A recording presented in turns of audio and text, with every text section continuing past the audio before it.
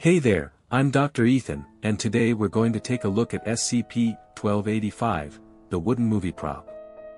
This particular item falls under the object class of safe, so no need to worry about any containment breaches with this one. Let's dive in and see what makes this movie prop so special. SCP-1285 is to be stored in a designated outdoor area when not in use, and during testing it is to be placed in a secure indoor containment unit. The containment unit must be equipped with a bed, unless the testing protocols dictate otherwise. The roots of SCP-1285 are to be regularly checked and trimmed to prevent any damage to the containment chamber. Testing can only be carried out with approval from Level 4-1285, and must be submitted two weeks in advance to allow for any necessary growth. After testing, any instances of SCP-1285-1 are to be disposed of by incineration.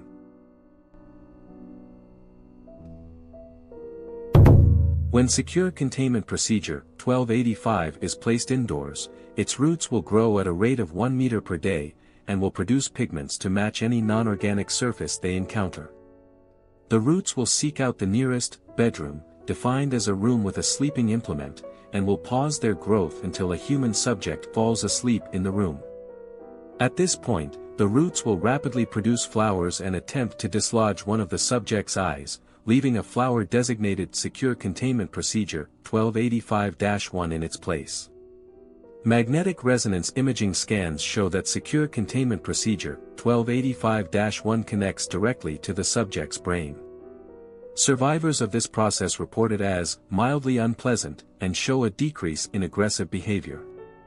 The process takes between 16, 16, and 32, 32 seconds.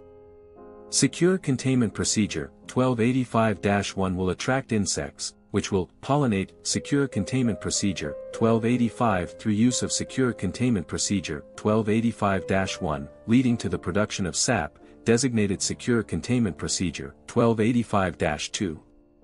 Secure Containment Procedure 1285-2 can be refined into an alcoholic beverage.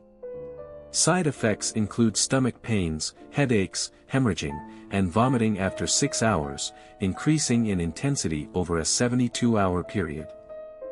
If the afflicted survive, root-like structures will grow out of their orifices, eventually covering their entire body.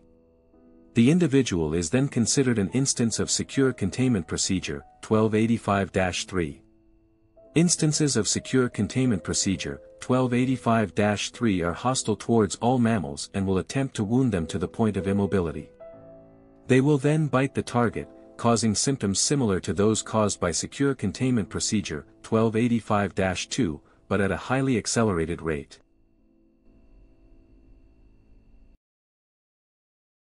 Following Incident 1285-AB, no further instances of SCP-1285-2 are to be produced.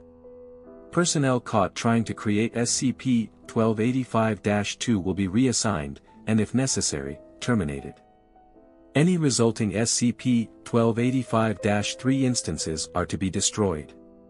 SCP-1285 was found in a back room of S Bar and Grill in Colorado after reports of tree people in the area.